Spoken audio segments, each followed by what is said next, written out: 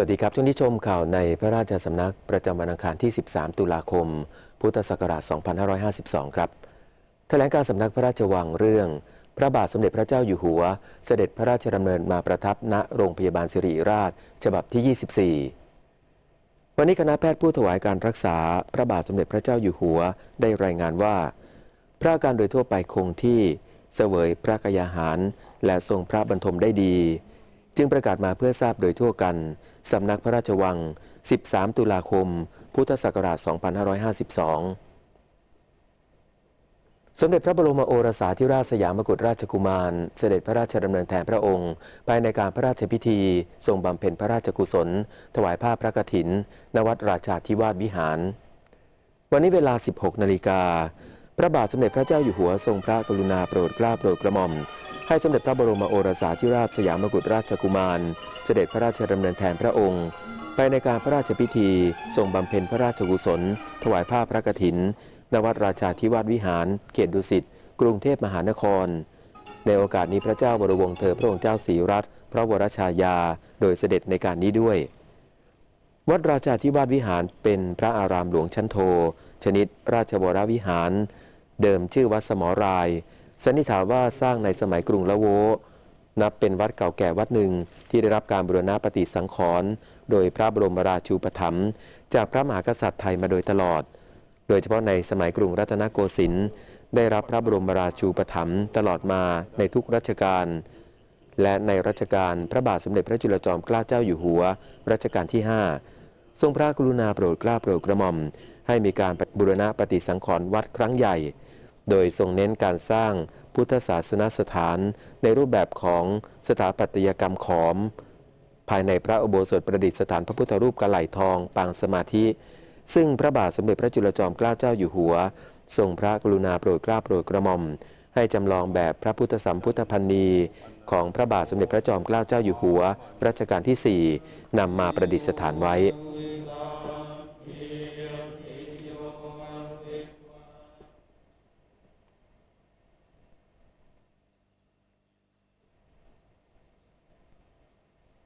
สมเด็จพระเทพรัตนราชสุดาสยามบรมราชกุมารี พระราชทานพระราชวโรกาส ให้คณะพระภิกษุเฝ้า และคณะบุคคลต่างๆ เฝ้าทูลละอองพระบาทตามลำดับดังนี้ วันนี้เวลา 9 นาฬิกา 17 นาที สมเด็จพระเทพรัตนราชสุดาสยามบรมราชกุมารี เสด็จลงณศาลาดุสิตดาลัยสวนจิตรดาพระราชวังดุสิต พระราชทานพระราชวโรกาสให้ พระครูพัทระสารพิมลเจ้าอาวาสวัดโคกหัวข้าว อำเภอพนมสารคาม จังหวัดฉะเชิงเซาพร้อมด้วยคณะเฝ้า ถวายเงิน โดยเสด็จพระราชกุศลตามพระราชอัธยาศัยนายอภิชัยจันทรเสนนำคณะพระพิสุและคณะบุคคลต่างๆ เฝ้าถวายเงิน และเฝ้าทูลละอองพระบาท ทูลเกล้าทูลกระหม่อมถวายเงิน เพื่อสมทบทุนสร้างเสนาสนะ วัดไผ่ดำอำเภออินบุรี จังหวัดสิงห์บุรี ดังนี้ พระครูสุนทรธรรมประคุณเจ้าอาวาสวัดป่าสะแก้ว เจ้าคณะอำเภอวิเชียรบุรีสีเทพอำเภอสีเทพ จังหวัดเพชรบูรณ์ และพระราชบัณฑิต ประธานคณะกรรมการสถานศึกษาขั้นพื้นฐาน โรงเรียนวัดไผ่ดำพร้อมคณะเฝ้าถวายเงิน เพื่อสมทบทุนสร้างเสนาสนะ วัดไผ่ดำอำเภออินบุรี จังหวัดสิงห์บุรีนายพรชัยฉัดแก้วมณีเฝ้าทูลละอองพระบาท ทูลเกล้าทูลกระหม่อมถวายเงิน เพื่อสมทบทุนสร้างเสนาสนะ วัดไผ่ดำอำเภออินบุรี จังหวัดสิงห์บุรีนางสาวสุกัญญาฉัดแก้วมณีเฝ้าทูลละอองพระบาท ทูลเกล้าทูลกระหม่อมถวายเงิน เพื่อสมทบทุนสร้างเสนาสนะ วัดไผ่ดำอำเภออินบุรี จังหวัดสิงห์บุรี นางสาวชนลชาติชัยชนะพาณิชย์เฝ้าทูลละอองพระบาท ทูลเกล้าทูลกระหม่อมถวายเงิน เพื่อสมทบทุนสร้างเสนาสนะ วัดไผ่ดำอำเภออินบุรี จังหวัดสิงห์บุรีนายกรีตักกนิษฐ์โชคชัยนรงค์ผู้แทนนางสุทธิวันอัศวปรีชาและครอบครัว เฝ้าทูลละอองพระบาททูลเกล้าทูลกระหม่อมถวายเงิน เพื่อสมทบทุนสร้างเสนาสนะ วัดไผ่ดำอำเภออินบุรี จังหวัดสิงห์บุรี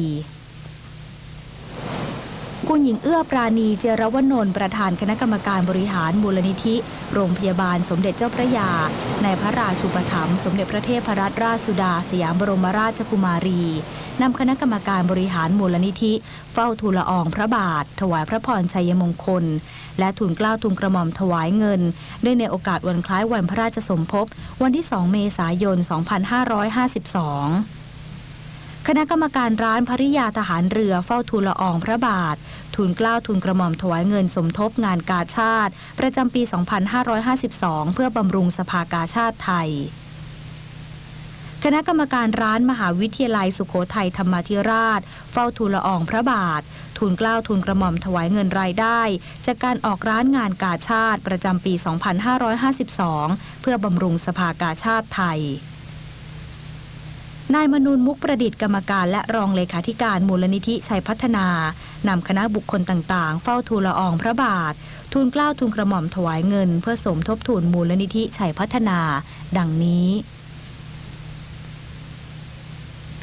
นางโบทิปรานุพวรรณกรรมการบริหารบริษัทเทคโนเซลเฟรจำกัดและคณะ เฝ้าทูลละอองพระบาท ทูลเกล้าทูลกระหม่อมถวายเงินเพื่อสมทบทุนมูลนิธิชัยพัฒนา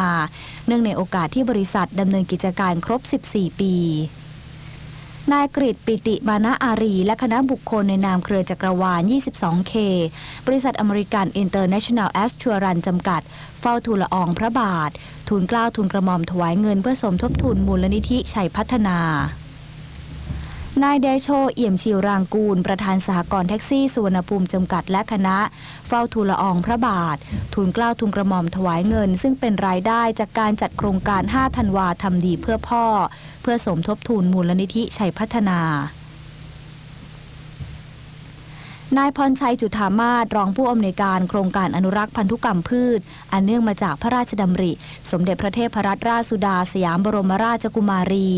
นำคณะบุคคลจากองค์การบริหารส่วนจังหวัดนนทบุรี เฝ้าทูลละอองพระบาททูลเกล้าทูลกระหม่อมถวายเงิน เพื่อสนับสนุนการดำเนินงาน ส่วนพฤกษศาสตร์โรงเรียนปี 2552 จังหวัดนนทบุรี นายปัญญานิรันกุลประธานเจ้าหน้าที่บริหารบริษัท Workpoint Entertainment จำกัดมหาชนนำคณะผู้บริหารบริษัท Workpoint Entertainment จำกัดมหาชน และทีมงานรายการคุณพระช่วย พร้อมผู้แทนโรงเรียนและนักเรียน ที่ชนะเลิศการแข่งขันวงดนตรีไทยร่วมสมัยระดับประเทศ ช้างเผือกคุณพระ เฝ้าทูลละอองพระบาท ทูลเกล้าทูลกระหม่อมถวายเข็มกลัดช้างเผือกคุณพระทองคำและทูลเกล้าทูลกระหม่อมถวายเงิน โดยเสด็จพระราชกุศลตามพระราชอัธยาศัย นายดุษฎีสินเจิมสิริ อดีตอธิบดีกรมประชาสัมพันธ์ ผู้ตรวจราชการสำนักนายกรัฐมนตรี พร้อมด้วยคณะผู้ดำเนินการจัดทำเพลงตามบทพระราชนิพนธ์เดินตามรอยเท้าพ่อ และคณะนักร้องเฝ้าทูลละอองพระบาท ทูลเกล้าทูลกระหม่อมถวายแผ่นดีวดีเพลง พร้อมเอกสารที่เกี่ยวข้องกับการจัดทำเพลงดังกล่าว นายมนเทียนบุญตันนายกสมาคมคนตาบอดแห่งประเทศไทย นำผู้ชนะเลิศการแข่งขันการอ่านอักษรเบลมาราธอนเฝ้าทูลละอองพระบาททูลเกล้าทูลกระหม่อมถวายบัตรถวายพระพรอักษรเบล ซึ่งได้รวบรวมจากคนตาบอดและแขกผู้มีเกียรติ ที่มาร่วมในงานแข่งขันการอ่านอักษรเบลมาราธอนระหว่างวันที่ 8 เมษายน ถึง 10 เมษายน 2552 ณ วิทยาลัยราชสุดา มหาวิทยาลัยมหิดล เวลา 10นาฬิกา16 นาที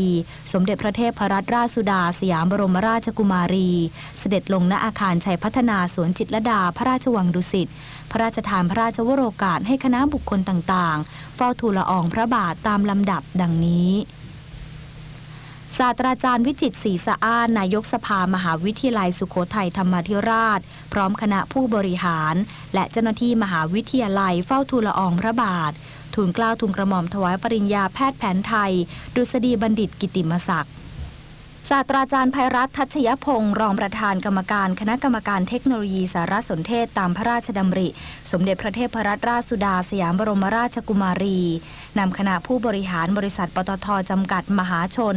และบริษัทวิทคอปโปรดักต์จำกัด เฝ้าทูลละอองพระบาท เพื่อกราบบังคมทูลรายงานเกี่ยวกับการจัดทำห้องปฏิบัติการทางภาษา ให้กับโรงเรียนในโครงการเทคโนโลยีสารสนเทศตามพระราชดำริ พร้อมทั้งขอพระราชทานพระราชวินิจฉัย เพื่อเป็นแนวทางในการบริหาร และติดตามประเมินผลโครงการดังกล่าวในระยะต่อไป